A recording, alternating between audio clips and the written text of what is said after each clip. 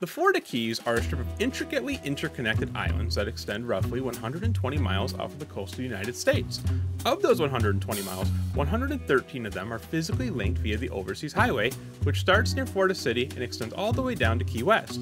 It is here on this idyllic island that you'll be greeted with gorgeous beachfronts, lavish resorts, five star restaurants, top notch shopping, and an amazing nightlife.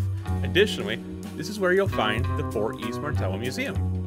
As you've probably already guessed by its name, the museum started off life as a military fortification. Back in 1860, tensions that eventually led to the Civil War began flaring across the United States. In response to this, the stronghold was constructed by the Union for the purpose of fending off the ever growing threat of the Confederacy. Thankfully, however, the fort never saw any actual conflict and was ultimately abandoned.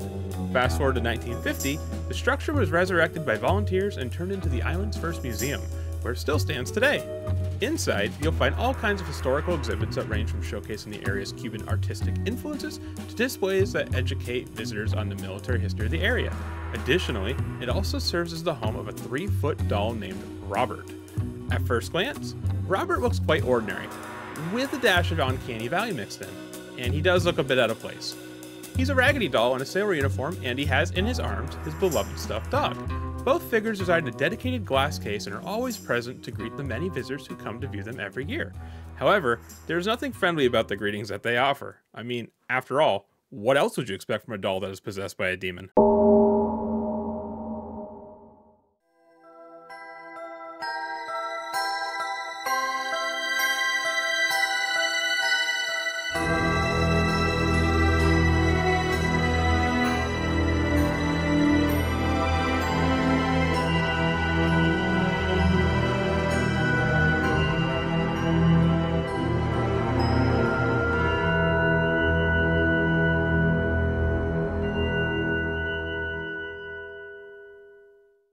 Everyone, and welcome back to the You Go First podcast. This is our new podcast that will cover all kinds of spooky happenings. Here we'll talk about haunted history, urban legends, and just the overall unexplained. My name is Austin, and I am joined here, unfortunately, once again with Fernando. How you doing? It's good to be, it's it's good to be back, Austin. I gotta say, it's good to be out of uh, content jail that you kept me in, Deep. well, you know, I'm sorry. You do the crime, you have to pay the time. Exactly, Deep. So How uh, dare I be myself? I know. Well, that's the problem. Everyone knows you have to be someone else on the internet. you you deviated from what I told you you could do. I gave I you a know. set list of things you could say, and you didn't follow it. And I'm just sorry, the script had it was riddled with typos, dude. So uh, before we uh, get started on our topic for today, I thought it'd be interesting to uh, note that apparently um, a satanic temple in Salem, Massachusetts, was attacked over uh, the week. Someone threw a pipe bomb at the front door. How did I not Thankfully hear didn't about go- this? I don't know I how you didn't hear about it. I You- like live in the area. How do you? How did you hear about this? uh, my sister apparently, and then I looked it up on the news. Yeah, so someone threw a pipe bomb. Uh, thankfully, didn't go off. No one got hurt. There was like minor property damage because the uh, you know, I forgot to mention this in the past podcast, but I kind of wanted to. Like, I remember, I think it was in Iowa, and it's a little bit political, like, right? I think there was originally like a law to keep church and state separate, but like in Iowa, is, I I- think. but in Iowa, for some reason, like, think I think uh, because it's like I forgot what it fell under. It might have been freedom of speech or something. I'd have to look into it, but I just remember vaguely that like I think they had a nativity scene for Christmas or whatever. Uh-huh. And like the Church of Satan, I know there's two, right? Like I think there's an actual Church of Satan, and then there's one that say they are, but it's really just like to fight like political uh biases. And they they don't set like up each other either.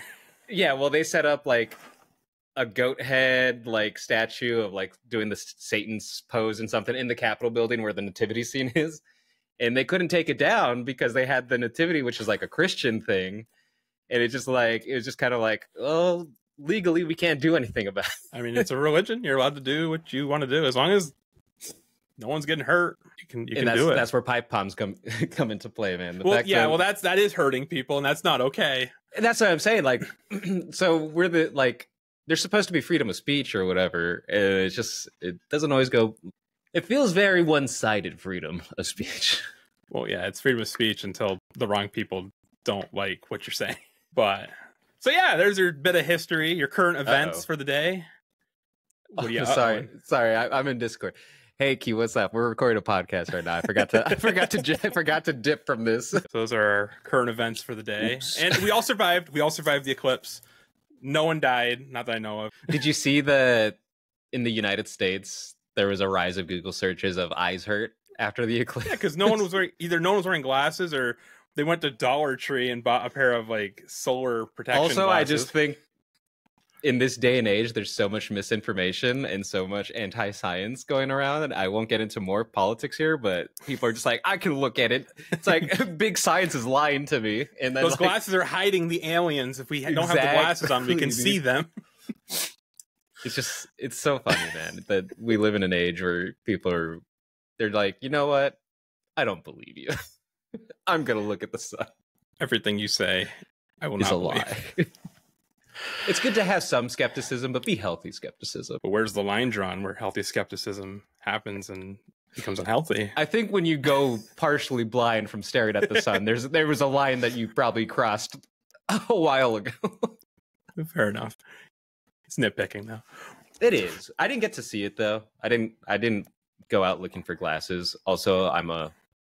I was paranoid that the glasses wouldn't work, so I was like, let's just watch it from TV, and we did. And you know what? They covered from places I used to live, so they were covering well Burlington. I think uh, the place I used to live in Texas, and not where I lived, but where you used to live, Tupper Lake. Like, so NASA had all these like installations and like broadcast teams and cameras from these areas because that's where the totality was. It was really Mhm. cool, really cool to see. Oh, so you, when you saw Tupper Lake, you actually I thought you looked it up. I didn't realize it just No. popped up. Oh, that's pretty yeah, cool. no, I didn't know like that. NASA was doing a live stream and had all the cameras from all these places totality was going to hit. They only showed you what they wanted you to say. Exactly, dude. It was all done in a studio in Hollywood, just like the moon landing. Yeah, exactly. You're gonna get us canceled. Just like Oh yeah, you, you should cut. You should cut this. Alrighty. Uh, so after that interview, or interview, uh, intro, do you know anything about Robert the Doll? Do you do you know anything at all? Honestly, when you gave me the prep for this, this is when I first started looking into it, and then it kind of just I had never heard of Robert the Doll. I thought it was going to just be like Walmart or like a knockoff version of Annabelle the Doll. Mm. Which, funny enough, when looking into this, I saw that uh, it has its own set of movies, and it kind of does seem like Annabelle because essentially it has like six origin movies, just like Annabelle did, and it's also kind of like a Raggedy Doll, and the movies are like Robert the Doll, The Toy Maker, Revenge of Robert the Doll, Robert Reborn. It's just like, and it just reminds me of Annabelle because there's like Annabelle Creation, Annabelle Origins, Annabelle like like it's just so funny that like they probably like I had never heard of these movies until looking up this doll. So it's like they must be like big horror movies over in the UK or something. Which is hilarious because it doesn't take place in the UK. It takes place in Florida. Isn't that funny? I love it. All right. Well, to be honest, I I did know a few things about Robert um, the doll, and that's why I was Like, how did you find out about it? I heard about Like, him a long, long because you chose ago. this topic, right? You chose Yeah, this yeah, I topic. No, I heard about him a long time ago. You know, scrolling through YouTube. I think Mhm. um I think the first time I heard about it was I think there's a channel called like the Infographics show or something like that, and they show Yeah. like cute little cartoons, but they explain like everything from really easygoing topics to really difficult and hard to explain topics that get kind of heavy. Yeah, and then I just you know researched more and thought it was cool, and that was before we ever had any kind of podcast or YouTube videos or anything like that. So I figured it would uh align I love with this. I love urban legends, so this is perfect. I'm glad we're doing this podcast. This is going to be fun. That's good because you get to start. You get to start. Okay, Get to start reading this beautiful let's script. let's get into this then, shall we? The case of Robert the Doll. Here's the story. Robert the Doll's origin started in 1904 at a toy store in a small town in Germany. At this time, a man by the name of Thomas Otto was visiting the area in search of a present to bring back home to his son, Robert Eugene Otto, or Eugene as he preferred to be called. Yeah, I, I mean, I'm the same, right? I'm like, I'm a junior technically almost, but it's like I don't want to be called by my dad's name. That's my dad. Call me, I didn't call me actually know whatever you were a junior. technically i'm not because like our our our names are like our middle name is one letter difference but it's essentially junior while walking around the shopping district in germany he stumbled upon a life-size doll while walking past a store and inside the unclothed doll was perched upon a chair with a small stuffed dog on its lap Believing that this rather plain dummy was the perfect gift for his grandchild, Thomas quickly snatched up the doll and its fluffy companion. You gotta wanna get the- know You gotta get the looked- combo, dude. Like who looks at this thing and decides, uh, yes, that is the perfect toy for my grandson. This thing has Uncanny Valley written all over it. It's terrifying. You know, I had to look up what Uncanny Valley was because I'm like, what is this? like, what is this that you're talking about? And I guess it's a doll making like method or something. It's like a So, so the Uncanny Valley, it's actually more of like a sensation that we feel. Um, it's kind of hard to explain, but essentially, like if you're looking at like a robot or a doll or a spooky skeleton in the background, you know, the fact that you have that there is so weird. You know, we like Halloween. Anyways, um Yeah. so basically there's a point where you reach where things are okay. Like there's a point where a robot or one of the things that is described is cute, you know, it's okay. It's not it's human like, but it's not too close to being a human.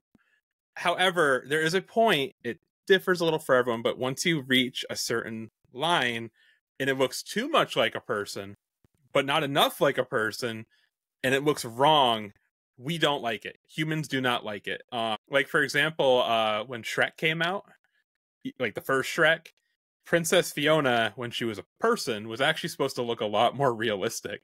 It's like Tess- Zootopia. What do they call it when like the animals look human, anthropomorphic or yeah, that's different though. You know that Judy Hopps doesn't look like a person; she's a cute, fluffy bunny. But- hey, stop, chill with it. but Not today, dude. anyways, Another podcast. when they showed Fiona to test audience, but test audiences, specifically children, they actually started crying because she looked so scary. Because As the looked- ogre or as the human? as the human. So, have you ever seen like the Polar Express? Oh god, dude. You mean I, okay? I watched it the first time this Christmas after you told me you'd. Ne- so you you l- little background. Austin's like the stepdad that always overpromised and underdelivered. So he's like, "Yeah, son, we'll watch Polar Express this Christmas." Like five years in a row, right? Never watched it with me. Same thing with like, I'll take you skiing. I'll take you. I'll play catch with you. Like all of that happened. So I watched it for my first the first time this year, and it was cool. But there's this one little shit in that movie. The geek. and he's just so annoying. Yeah, that's the point. And it's just like, why? Why would they put him in here? He's an extremely unlikable character. And how does he get to go meet Santa, dude? That's not like what? He's He not a good taught, boy. he gets taught a lesson. Remember, he's like lead. And he's like, no, weed.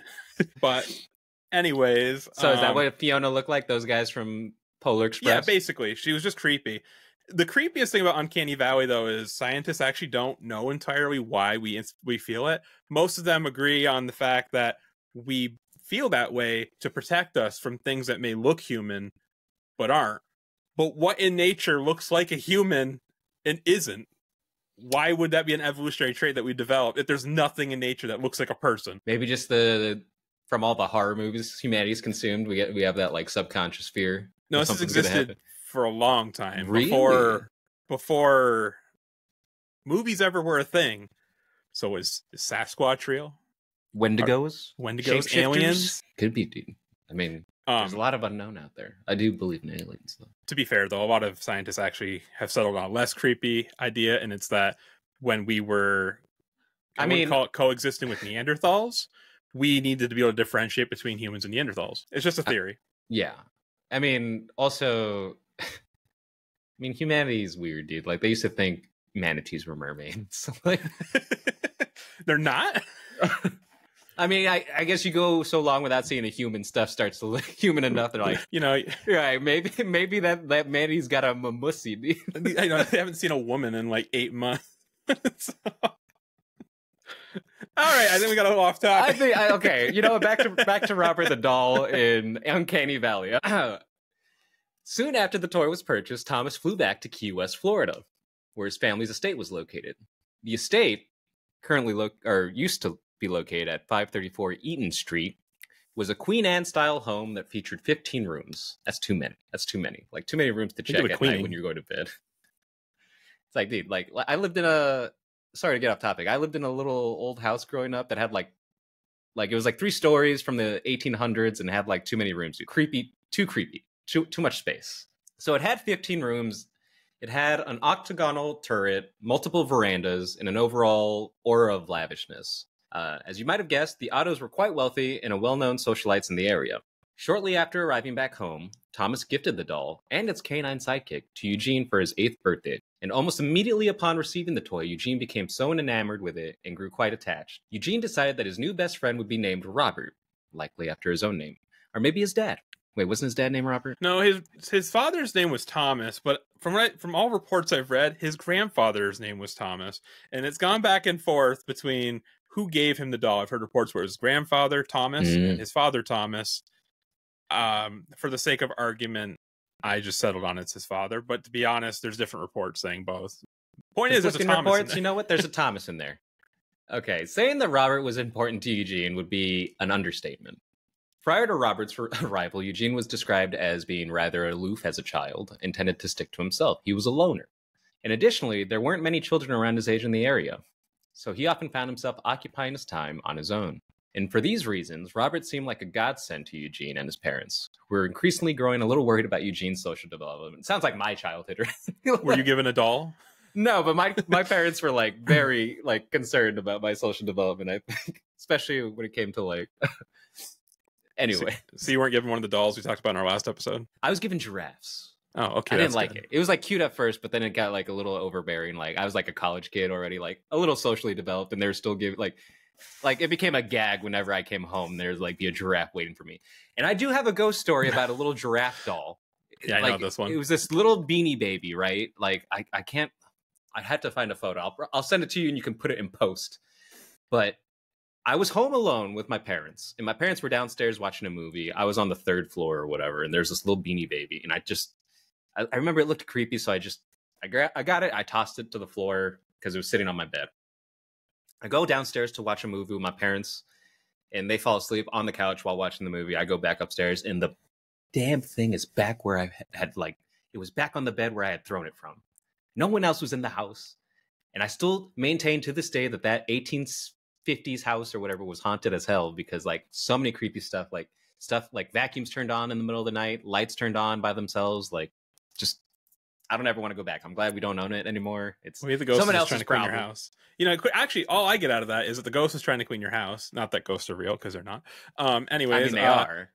You know, it turned on your vacuum. It picked up your damn toy because you freaking threw it on the ground. Because it's a creepy giraffe. Well, Back on topic. In order to help give Robert more of a lifelike quality, Eugene's mother, Minnie, decided to rummage around some storage bins in the house in order to find some clothes for the doll. Eventually, she came out of the storage room with a child's sailor suit. More specifically, it was Eugene's old sailor suit. And now, while no one knows for sure, some people do believe that this is the moment that ultimately doomed the Otto family. Giving Robert Eugene's clothes may have created an inseparable connection between the doll and the boy. Something like, oh my god. So, listen, it's Hollywood, right? They say based on a true story. I'm sure it's very fabricated, but Oh, well, have yeah, you you ever it the. Annabelle franchise? yeah, I've seen every episode. Uh, every like, so. I don't think I've seen everyone, but there's one where like I don't know if it's origins or creation, but it's like after it's like what started it, right? The doll, and then there's like something in the house, and like it's I think it's writing, creation. it's writing on a paper, like it's saying it's the dead daughter of this family. It's like, hey, let me in the doll or whatever, and it's just Yeah. like that's the inseparable connection, man. Don't do it. Stop.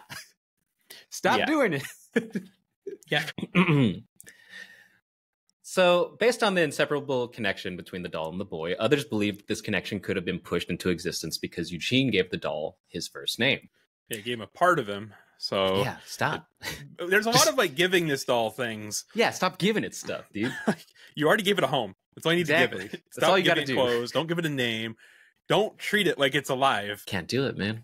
No matter what the reason may have been, we know that from this moment on, things would begin to go very wrong for the Ottos. At first, everything seemed completely normal, and Robert would accompany Eugene everywhere he went. Whether the boy was playing, eating, or sleeping, Robert would be there in tow. However, Robert would also be there whenever Eugene needed someone to talk to and share all his secrets with. Mm. And you know what? Let me just get on the topic. Like, so in every horror movie, like uh where there's a kid, there's usually an imaginary friend, right? Like uh like what was that one? The boy, right? Which kind of seems like it probably took inspiration from this. Uh, Possibly, although the second one kind of, the second Yeah, and the first one kind of then it- a little bit. Yeah, I mean I think there that's just a cash grab at that point. Oh, the first one But, did like- good, so we need a sequel. like when I was a kid, my older sister had an imaginary friend, and me not wanting to feel left out because I was a middle child, I created one, but like even now, I was like there's no one here. like I'm like six years old. I'm like, I'm not talking to anyone, dude. I'm just making up whatever my sister's making up. And you know, if I was a parent and my child I actually started talking to someone that wasn't there, I'd probably like like I'm probably calling a priest or an exorcist or something. Be that like, would actually freak you out. Like Yeah, your kid having an imaginary friend. Cause I don't know, man. Sometimes I feel like, and maybe I've seen too many horror movies, but like when kids start talking in the movies to an imaginary friends, it's usually like some demon or spirit or ghost or something. You know, You know. maybe not, maybe not with with the imaginary friend, but as soon as he comes to me with a drawing to put on the fridge, and it's like him, his imaginary friend, and us dead on the side, With I'm like, X's okay. or like Yeah. really dark circles for the I'm eyes. like, okay, all right, let's let's let's clean this up right now. the only quote unquote imaginary friend I ever had, which I think like every child who went in the car a lot had, was the little guy running along the side of the car and like jumping over everything. You never had that? I mean, I pictured myself doing that. I I never pictured Or anyone like else. Naruto running like next to the car. No, like Mario or something, dude. Like I didn't get into anime till like two years ago, dude. Like, Okay, no, I, I okay, I'm not the only one here, by the way, because I've seen memes about it. But yeah, you imagine like a little dude just kind of like running and alongside the road, jumping over must the be signs. must be a, a northern New York thing. We couldn't all afford GI Joes, okay? I didn't even play with GI Joe. I, I don't think GI Joe was before my time too, dude. You're like what, like 42? Um, okay, well, you're, I'm pretty sure you're you're getting up there too now, Mister. Wait, what year were you born? 94. Yeah, you're not even a Gen Z. You're a millennial like me, I'm in my You 20s act- still. I can still say I'm in my 20s. yeah, for now, it's coming, dude. It's like the, the Twister meme. Here it comes. Here it it's like 30 years old. dude, one day you're just your back starts hurting, dude, and you're just like, what'd I do? Well, hopefully not. I'm like sure I used to come, be, I used to be a belly sleeper, right? And then I turned like 27, and then I can't do that anymore because I'd start getting neck pain and stuff. Well, I, I don't know what to tell you. I'm sorry. Anyways, did you ever have an imaginary friend besides that weird hoppy skip dude? No, I did not actually. What about your sister, I don't think so. Um, Sam? I don't think so. Wait, didn't you have an imaginary friend? Because you you tell this ghost story, right? Of like a That's not imaginary theater. friend, man. Well, see, you tell this ghost story and you don't believe in ghosts, but like a puppet show at the foot of your bed when you're like what five? yeah, I mean, it was probably just like it's probably three in the morning. You know, the witching hour. Uh, it is the witch. and why is, I called, why is that the? probably wi- was I've always wondered, and I've never looked into it. Why is that the witching hour? I have no idea. We'll have to figure that out. Okay, next podcast. But yeah, no, I just I don't know. It was like three in the morning. I was probably like half asleep. As a child, probably probably had too many pixie sticks for bed, and I saw things moving. Probably, who knows? you know, too many pixie sticks want to con- want to convict your parents of SRA, dude. You're just like, who knows where the night's gonna take us, dude. Things get a little heated, dude. All right. At first, this relationship appeared innocent enough to Minnie and Thomas, as they assumed it was just a case of a boy and his imaginary friend. However, this nonchalant approach towards the duo quickly became upended when Eugene began to display major shifts in his behavior. Eugene, who had previously been a quiet, reserved, and generous child, quickly became I don't know a single generous child. They're all self. a little Hey, hey, hey! My nephew's a sweetheart, man. I'll, I'll go and like he, he's selfless enough to where he like he puts his little sister before him, and I'm like, wow, he's a better little brother than I was, or older brother than I was. that's cool because He's a good uh, kid, man. I feel that's great. But I know you. You're a selfish piece. Never mind. Yeah, yeah, yeah. Uh, anyways, uh, he was a reserved and generous child, and he quickly became violently possessive over the doll and exhibited aggressive behavior towards his parents. Oh yeah, This- calling the Exorcist already, dude. You know, this is what you'd have such a big bill for The Exorcist because you'd be calling them Hey, all the time. and They you just know what? He would probably be like, "Oh yeah, there's something definitely wrong. It's gonna be like ten installments. Like they would write you to off. no, Hey, I think they would. They would. They would make a fuck. They would make a such a long bill, being like, "Oh, I'm gonna have to come back so many times." Like, yeah, he's definitely he's definitely got something. All right. Well, uh, anyways, yeah, he displayed aggressive behavior toward his parents. This included outbursts of rage and screaming fits when his parents attempted to remove the doll from his possession. Unfortunately, as bad as that may have seemed, this was just the beginning of the Otto's woes. One night, soon after these changes in Eugene began to occur, Minnie was going through the normal routine of getting her son ready for bed. While she was getting him tucked in, she noticed that Eugene was talking to Robert in a hushed tone. As beforehand, Yeah. this didn't really phase her, as it had become common practice by now. It was Eugene talking to his imaginary friend after all. After she made sure her son was comfortable, she said goodnight and closed the door. However, as she began to walk away from the bedroom, she heard a rough, gravelly voice actually respond to what her child was saying. Fearing that somebody had broken into the house, the panicked mother burst into her son's room as fast as possible. However, nobody was in the room except for Eugene and Robert. And Robert. And Robert. Gets See, super dramatic. okay, at this point, I mean, at this point, come on, like, call the Exorcist, call somebody, call the cop. Oh well, no, like I saw The Conjuring 2, and like the or is it the third one?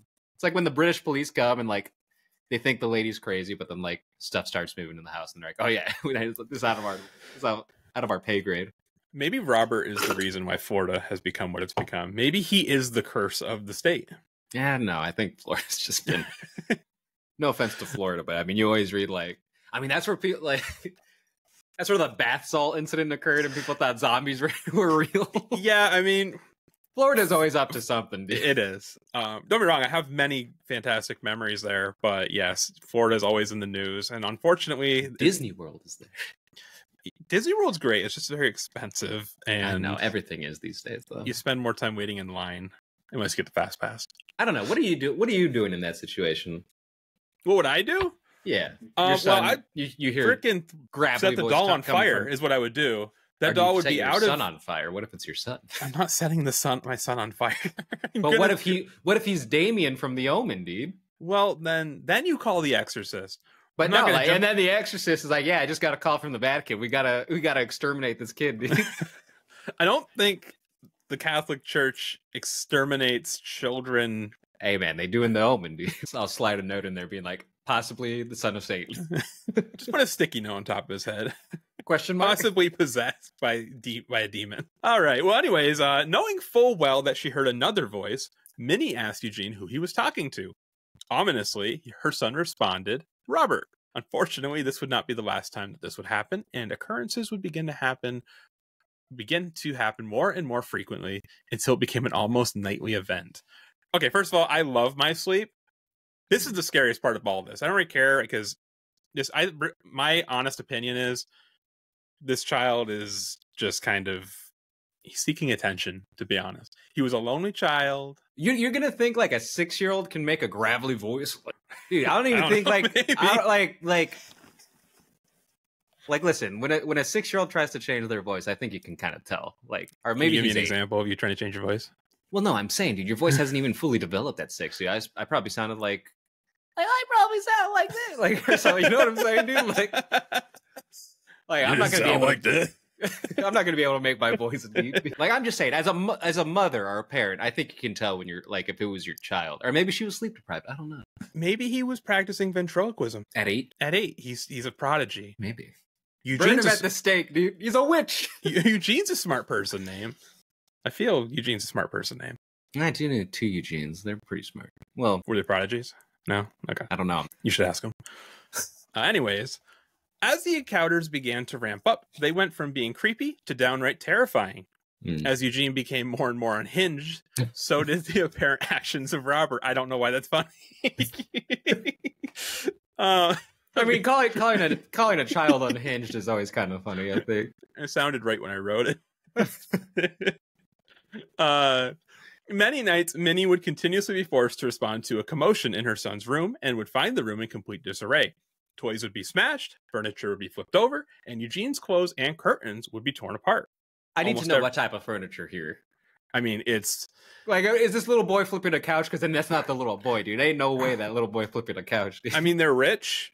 It's a mansion, and it's going to be really nice furniture. And we're talking the early 1900s. This is heavy furniture. oh yeah, dude. Nothing's guessing. child proofed. No, childproofing's not like that's communism. we don't do that here. Socialism, disgusting. Toys would be smashed, furniture would be flipped over, and Eugene's clothes and curtains would be torn apart. Almost every single time, Eugene would be found huddled under his covers, absolutely petrified. He would then go on to utter the now commonplace phrase, Robert did it. Bro, come on. Dude. This is like the boy, dude. Like, oh my god, come on, dude. Someone burn this doll, dude. I just don't get why they just don't kick it. It's a doll. It's like every well, no, Chucky you, movie, you you gotta, just kick you gotta, the damn thing. you gotta burn it, dude. Well, yes, but do something to it. Don't just leave it. Or you do what Zach, no, not Zach Bagans, the Warrens did and put it in a little display case and then chain it with like crosses and holy water. Well, don't get ahead of yourself. We're gonna we'll we'll get to that. By now, Minnie, who was a woman of faith, began to fear that there was something supernatural haunting the family. No shit, obviously. uh, and more specifically, she believed something was haunting her son. The voice that started off quiet and hushed could now be heard on the other side of the house screaming and yelling at Eugene. It appeared as if Robert, or whatever was possessing him, was becoming more powerful. For weeks this went on, that is until one fateful night when the entire situation came to a breaking point. Minnie and Thomas woke up to a blood curdling scream coming from down the hallway. Realizing that the shriek was coming from their son's quarters, the couple jumped up out of bed and ran full speed towards Eugene's room. As they got closer and closer to the child's bedroom, the now all too familiar guttural voice was increasing in volume. By the time the couple got to the door, the groaning voice had become deafening. Without hesitation, Thomas and Minnie burst through the door into their son's bedroom. They're braver than I am. I don't think I would uh I'd be like, hold on a second, let's assess the situation here before we go bursting down doors. I mean, we don't know what's in there. so um I guess they're they're a little braver than I would be. Maybe that's why I probably wouldn't be the best parent. But you know, I'm sorry, self preservation is a very real thing. uh, almost immediately upon entering, the voice subsided, and all was and all that could be heard was a child's terrified whimper. Mm. Inside, a queerly shaken Eugene was against the wall across from his bread, bed, cowering underneath a bed sheet. All around him lay debris from torn apart toys, clothes, and even furniture. Almost mockingly, Robert sat atop Eugene's bed, dog in lap, staring at the parents. Interesting. Wait, oh, the fake dog, right? Well, yes, that he didn't. Yeah, yeah, yeah. He didn't just have the family dog held hostage with like a knife to its throat. that would be terrifying. That that actually would be like, damn, I might actually believe this had some merit, but uh, definitely not. Uh, so you know, I also like so kind of like so. I think kids, dogs, cats, like I really do think they can like sense stuff, like especially dogs and cats. They have more heightened senses than humans. And people will be like, "Oh, like your cat's there's mice in the wall or something," or your dog like it like like when my dog would bark at an empty room, I'd be like, like back in high school, I'd be like, "Okay, what's going on? What's in here?" And then one time, like I swear my house was haunted, bro, because like my cats would be staring at something like in the closet before something would fall. And then like sure enough like 10 20 seconds later something would fall. And then the cat would like run and scurry away. I'm just like i don't know man. Like burn the house burn the doll burn everything dude just Throw it all out. Start over. I mean, probably the scariest thing I've ever experienced with like an like an animal possibly seeing something that I couldn't see was um when we were leaving our like the last apartment we were in to move into the last house. Mm-hmm. We it was like a week before we were getting ready to leave, and Piper, who is not an aggressive dog, I've never seen her bar her teeth. I've never oh, seen no, the I've, hair on her back. She's, she's, attacked me many times, dude. Oh yes, definitely. You have all the bite marks. I made sure she bit you though, where your clothes hide it. But but um, anyways, it was like a week before we were moving. I'm just finishing up packing and stuff, and she is staring at the top corner of the kitchen. There's nothing there. Her teeth are barred. She's growling. The hair on her back is sticking straight up. And she was doing this for like a solid like 15 seconds. I've never seen her do it before or since. And all I could imagine, all I could think was, I'm really happy we're getting out of this house because there's something not okay here. So, yeah, Ghost I don't know. Oh yeah, no, you're just scared for no reason. Dude. Finally realizing that it was indeed the doll that had been causing the family suffering, Minnie, in a fit of rage, snatched up the doll and its companion and proceeded to run towards the entrance of the attic. From there, she cast Eugene's best friend deep into storage and slammed the door shut. From here on out, Robert would be left to rot far away from the Otto family, except that probably didn't actually happen. Um, Instead, a more uh, a theory that is more widely believed, which I think is actually more unsettling than that, is um, basically most people believe that yes, all this happened, but they actually put the doll up in the attic, which the attic is not like your normal typical attic. It's actually that turret that you had mentioned when you were reading. Mm-hmm. Um, it's at the top of the house. It's a really pretty um, part of the house. It's got windows all around. It's a big turret. Looks like almost like a piece of a castle. Eugene supposedly put him up there, put you put Robert in a chair, and turned it into his own bedroom. In like there, Robert's he had bedroom. what was that? Like Robert's bedroom. Robert, yeah. Eugene mm. created a bedroom for Robert, and inside there there were toys and furniture and stuff. This was Robert's room. Mm. That is actually more widely believed that that's what happened. So for Eugene to put that much effort into this doll and insist that his doll has a bedroom, I think that's almost creepier than him just being thrown in the attic. Because oh, I think uh, so. I think you know, I mean, something's going on between him and that doll. okay, I wasn't supposed to sound like that. no, I know, I know, I know, I know. It's just crazy. No, you sickos, dude. You guys are all sick, dude. So, so yeah, I guess I'll let you, choo- you know, the viewers choose which they want to believe, whether you know Robert had his own room and it was he was pampered and stuff, or if he was cast away. But I do think he was actually taken well, you know, well enough care of in that room. So yeah, um, Robert gets a bedroom. Is if a switch had been flicked, the haunted happenings that had been quite routine in Eugene's room ceased. Convenient. It's always convenient, dude. This kid's this kid's a psycho, dude. However, just because they stopped occurring in the child's sleeping quarters doesn't mean the spooky happenings in the Otto household became non existent. Legend says that Robert became increasingly irate during this time and proceeded to take out his anger while residing up in the attic. I mean, he had been cast away. Even I mean, this just sounds like the movie for the premise of the boy, dude. I gotta Maybe be it like- is. I gotta look in and see if it was like directly inspired. I mean, even if whichever story you believe, Right. And again, I lean towards he was well taken care of and he was put in a room and it was nice and blah blah blah blah blah. But he's still being pushed away from daily life in the uh, in the household. Although you know, even though yeah, Eugene supposedly keeps visiting him, um, it doesn't matter. You know, he's kind of stuck in that room. He's not Yeah. hanging out at the dinner table, getting his you know bowl of porridge or whatever the hell they ate back. Oh my god, dude. It's like just imagine serving food to this inanimate object, and it's just like you're trying to take it away to just take it away, and then like the kid's like, he's not done yet. He's like pushing the spoon of like cereal into its mouth. and It's just like dripping all it's over the dripping place. Dripping down, making a mess. Oh, you made a mess, Robert. Let me let me get that for you. Okay. okay. Many times throughout the day, Robert's little feet could be heard pitter pattering around away as he ran all over the attic. That'd be creepy to hear a little pitter patter, dude, Yeah. honestly. And additionally, furniture could be heard scraping across the floor, and items would be found routinely broken wherever whenever the Ottos are the Otto's waitstaff went up to the attic. And because of these strange occurrences, it almost became quite difficult for the Ottos to keep servants around the house. And this would remain the case for years to come. Imagine if that was your biggest, you know, issue in daily life to keep your servants around. I mean, like, like, don't get me started on that. yeah, that would be. I mean, my biggest issue would be like, what the fuck is going on, dude? like, right, right, Like- exactly. like, at this point, why is it still in your house? and that's the thing like you know i've read so many reports of this and they yes there's conflicting ones but it doesn't matter like either way creepy stuff is happening why would you keep this thing around i mean obviously the the number I mean, whether you believe in ghosts or not, right? Like, whether this is like fabricated or not, it's like, what? It, what normal person wants this thing in their house? I don't know. I don't know. Clearly this child is like you know like i said i don't really believe the, the doll's possessed i think the kid's possessed something's wrong like whether it's wrong, it's a psychological issue i don't know but this is not normal I mean, I wish there was video evidence of like this pitter pattering and like I would want to see video mm. evidence of hearing the pitter pattering and the scraping of the thing while the kid's next to me, you know, like while the kid's next to the camera. right right so you know that he's and like not the doing that. father's right there, right? Like make sure everyone's present, but you know, that's that's here or there. Eventually as time progressed, Eugene would grow up into a well-educated and respected young man. Debatable. Despite contending with a possessed doll for much of his childhood, he would go on to study the arts in both New York and Paris. It was here that he would meet his future wife, a concert pianist named Annette Parker.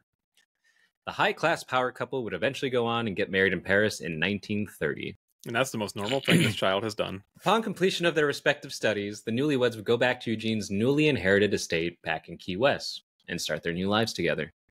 Soon after, Eugene would take would turn the front room of the estate into a personal painting writing, studio and carry out his dream of becoming a success a successful artist and writer.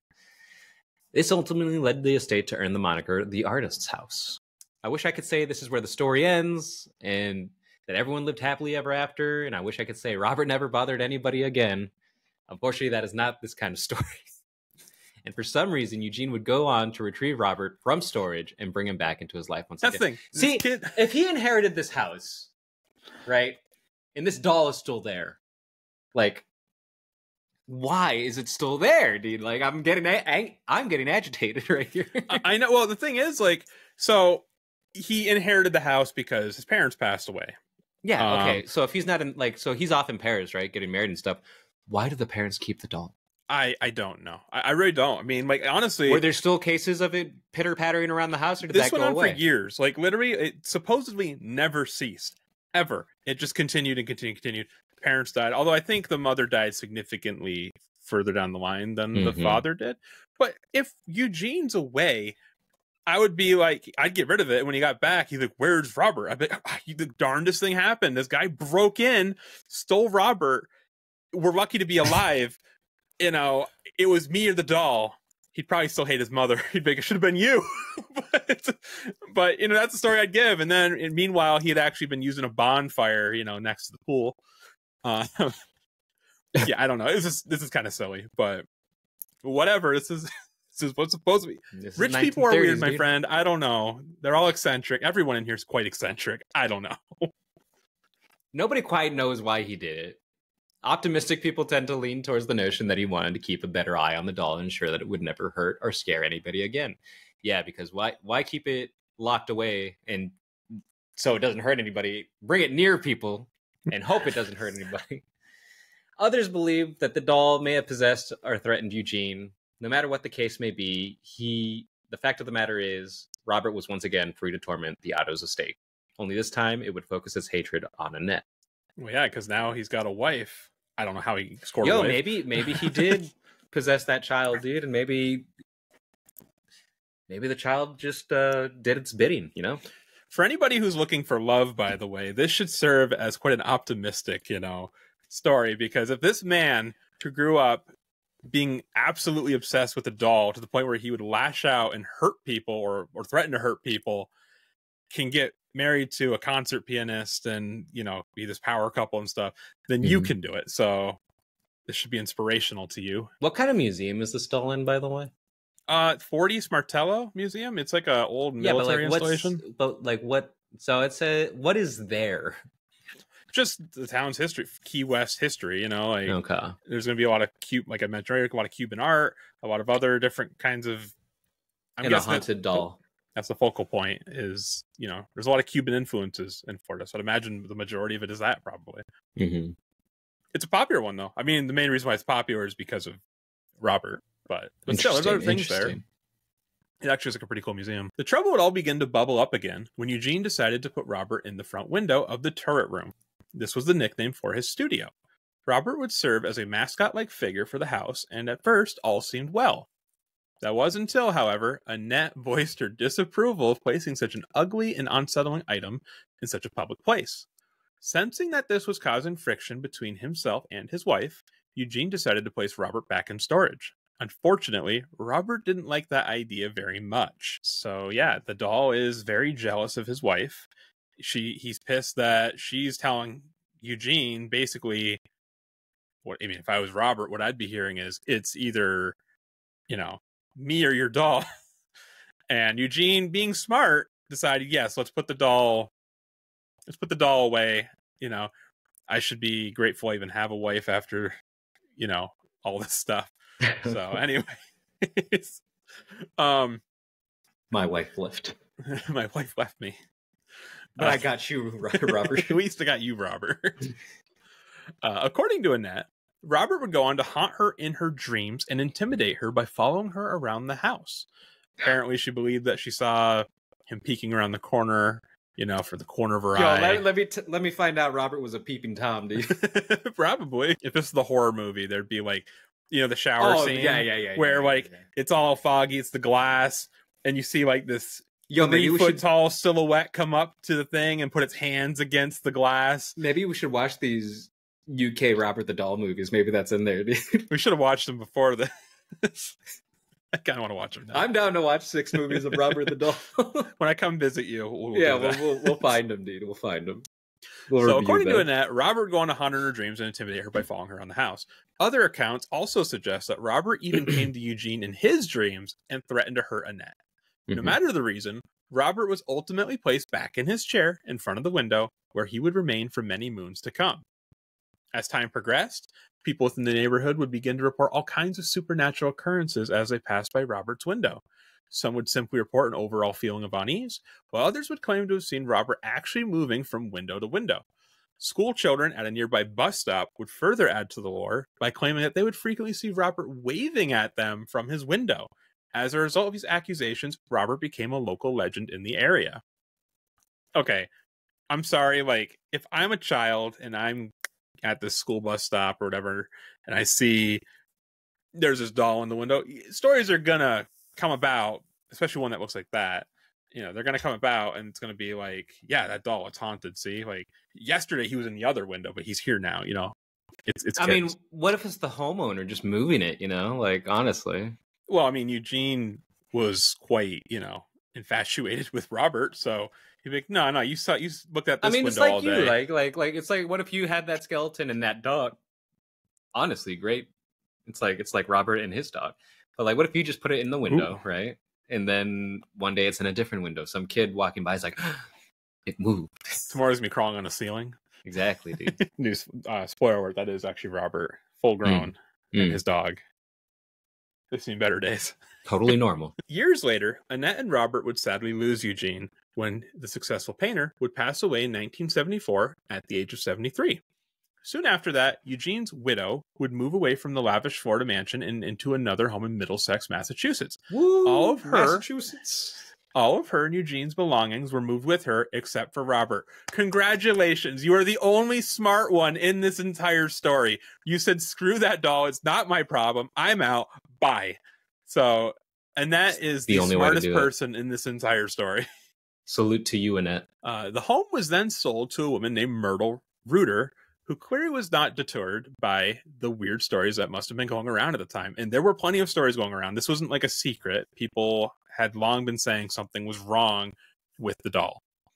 Upon moving into her new home, Robert was still present in his window and eventually became somewhat of a buddy to Myrtle.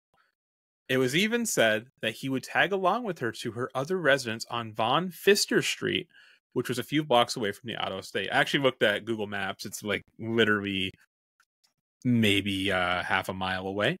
So whoever this Myrtle Reuter is, she's got some big bucks if she can afford two, you know, homes in Key West. It's a very expensive area. It's very pretty. Hey too. man, some people have that kind of money. I wish I was one of them. Uh, according to Reuter, Subscribe to the podcast. yeah, subscribe to the podcast so I can afford to buy the Otto's estate, and then I'll start a vlogging series where I talk about Robert all day. That sounds like torture. I would never. That does sound awful. According to Reuter, her time with Robert started off rather mundane and nothing noteworthy really happened. However, as she spent more and more time around the doll, she began to notice concerning patterns begin to form around Robert. Specifically, she noted that the toy would move away from where she left him while cleaning, and that she would also frequently hear small footsteps around the house at night. The pitter patter's back. pit- the pitter patter of doll feet going across a wooden floor. I know you love feet, dude. a feet fiend. Uh, even her guests reported that Robert would make them feel uncomfortable. Some of them even reported that the figure's facial expression would change if they said something negative about it. Oh, it's just So like Annabelle, dude. You can hear. Don't say anything bad about Robert. And also, we're actually gonna we'll get into that more later. But you're not supposed to say anything bad about Robert, otherwise, uh, things might not go very well for you. Oh yeah, no, I want to get into that right now because some of the stuff I was reading about. Let me get Oh, no, into that's this in real here. quick. That's in here. Promise you, we'll get to it. I know. I just want to say it was so ridiculous though because it's like one of them was divorce. It's like Yeah, that's the ultimate like, scapegoat Well, right there. It's not my fault we got divorced. It's not my fault my wife left me. It's that damn doll. uh, It always is, dude. eventually, Myrtle began to feel that this wasn't all just happening inside of her imagination. This prompted her to get in touch with Annette and inquire about the creepy instances that had been surrounding the doll. Annette gladly obliged and told the new homeowner all about the history of Robert. She must have been like so proud. Been like, yeah, Yeah. this isn't my problem anymore. This is yours. You're a dumbass for even buying the, the doll. So, I, I mean, come on. Yeah. I mean, I'm, I'm sorry. Like, I mean, at- at the same time, like I know in New Orleans, right? Like real estate will list property if it's haunted. Like it literally will Yeah, put a sign haunted. that says haunted or not haunted. It's like maybe you should do that. I mean, whether or not you believe in it, right? But maybe maybe say something like because I know I would never want to be a used homeowner because I would have some kind of like like listen. One, I'm probably not ever going to be able to afford it, so that's another thing. But I would not want to be someplace where like some shady stuff happened in the past. See, I think shadier stuff's going to happen in an apartment than it's going to happen in a house. I mean, maybe, but at the same time, I can move apartments. That's true. That is true. It's a lot easier to move an apartment than it is a house. After Annette talked to Myrtle about all the strange occurrences that happened on Robert, Myrtle decided that it would probably be best if she just donated him to the Fort East Martello Museum. Okay, that's the second smart thing to do in this. Mm-hmm. Get it out of Moving the house. away man. was the best one, and getting rid of that damn doll was the second one. And to this very day, at the museum, museum staff still report all kinds of anomalies that are affiliated with Robert. This includes hearing footsteps, I like to call it pitter patter, Pitter patter. disembodied voices, the doll being out of place in its case, and claims of Robert changing his facial expressions. By the way, I saw a picture of it. I don't know. I couldn't really see a facial expression. I don't know if it has much of. a- I mean, it has eyes. yeah, like additionally there have also been downright deadly occurrences that have become associated with the doll. But at the same time, like all right, let's just get into it. yes, I know you've been waiting for this. It's here. It is. Both staff and visitors have encountered the toy, have experienced all kinds of misery, including but not limited to relationship breakdowns, divorce, instances of psychosis, developmental development of rare cancers and other diseases, been involved in car accidents, lost their jobs, experienced paranormal activity at home and in their dreams, and even died on occasion. It I is so many Florida. thoughts. There's lots of old people. Not only that, literally everything gives you cancer nowadays. Mhm. It's just kind of a fact. I mean, I need to see data on how soon after the encounter with the doll these occurred. Like, right? Like, is it three months later? It's like you got in a car accident. You're like, that damn doll. like six years later, you get a divorce. It's like, it's not me. it was It's the Robert. doll. Robert did it. It like, Robert- oh, like a day after the doll, it's like divorce. it's It's not my fault. I cheated on you. Robert made me do it. Like, I'm saying, I don't know. Robert gave me, I don't you know. know, stage four. I don't know. Mm-hmm. Overnight. I don't want to say. That's how it it's- I don't want to. I don't want to. Know, What? can't, cancer kind of freaks me out. So I don't. Oh, I, don't wanna- mean, it I freaks me- Out that. It freak it freaks me out too. I'll knock on wood right here, but I mean, It's, it's, probably just, not real wood that you're knocking on. It's price everywhere, giving bro. you cancer. It's everywhere, dude. Everything does, dude. Everything you buy nowadays has that Prop 65 California thing that says, "Hey, dust you're breathing in is going to give you cancer." Dude. Yeah, well, it's, it's Anyways, that- unavoidable now. It is. It's like, listen, like there's forever chemicals in our water. It's just like it's everywhere. I'm sorry to be a Debbie Downer, but it's everywhere. It's a podcast. You can't. You can't all be highs. You know. I, I mean, I'd rather have all the lows than all the Now, while all of these events are more likely just to be a coincidence, some people do believe that there truly is such a thing as Robert the Doll's curse, just like the curse of the mummy, right? Or Annabelle's curse. So many people believe, in fact, that a cork board next to Robert's display cabinet is filled with over thousands of letters of people asking for his forgiveness and after supposedly offending him. And more keep being added every year. So apparently, so wait, when you oh, Is ahead. it only if you like offend him in person or if you offend him on a podcast? I don't know. You should say something really bad, and then No, we'll I mean we kind of like both have been like clowning on this. So like, Um, well, so it's funny you say that actually. So before this, I wanted some, you know, current events to talk about with Robert. I was going through a Reddit, su- you know, a subreddit, which clearly is all fact. You know, everything on there is oh, everything on. Reddit's true. Yeah. I don't even. You don't need to fact check this. I promise you, it's just it's clearly real. Anything on Reddit's real. Um, you know, there was people going back and forth about saying, you know, first of all, like when you take a picture of Robert or whatever, you're Mhm. supposed to ask him permission. Yes, you need to ask this doll permission. Can I take your picture, Robert? And you take a picture. Man, if you don't- really into this. Yeah, if you don't, if you don't do it, and you come off lucky, your photo will be blurry and whatever. If you come off unlucky, you die of a car accident. Dude, let me Um, find out the museum is behind it and just like maybe, maybe that's how they push like it. they're so into the conspiracy or the story that they're like actively murdering people. It may be. They have like a. Oh, they just have A like hit squad. a hit squad who brings like a green screen with them, and they just green screen the body with like Robert. so, Oh no, like I'm saying like they're actually murdering these people. maybe yeah. Robert. uh yeah, so there's all these things supposed to, you know, get forgiveness, whatever. But anyway, I was going through a subreddit, and someone was like breaking down what they're like. I don't think that uh Robert, or sorry, they think that like, Robert is like prox- his attack is proximity based. they're talking about it like it's an RPG or something. Um, If you But- say within a certain amount of radius, then like you're screwed.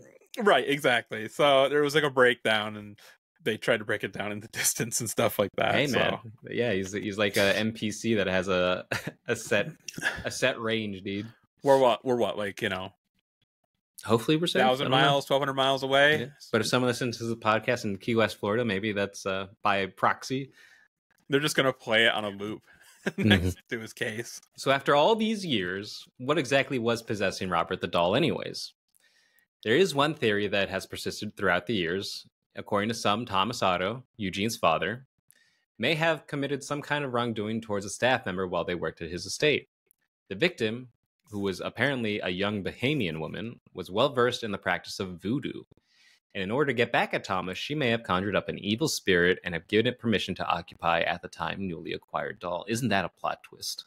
It- you know, again, like I put this at the end just because not everyone believes this to be true.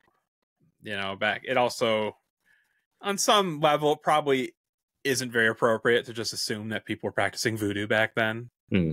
So I think a lot of people, you know, this is just like a a convenient excuse as to why Robert the doll would be possessed. I personally, you know, putting on my tinfoil hat, which I need to make. I need to make a tinfoil hat for this. True. you know, I think that uh the doll them giving him the clothes from Eugene and giving Robert Robert Eugene's first name, that would have been what actually gave the doll life. You know, maybe there was a ghost in the estate. It's a very old estate. It's in, you know, Key West. I don't really know the history of Key West, but you know, the fort that this is in, technically it was a Union fort.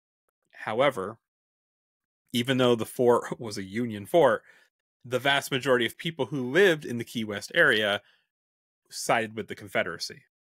That's why it actually is quite amazing that no conflict ever broke out because this Union fort was basically smack dab in the middle of Confederate territory.